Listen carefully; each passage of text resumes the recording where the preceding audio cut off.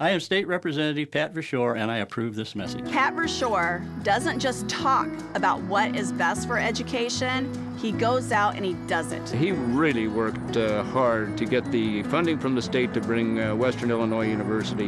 And that's going to help my grandkids, my great grandkids, your great grandkids, and great great grandkids. He truly cares about what is going on in our schools and raising achievement for our children. Pat Verschoore, working for you.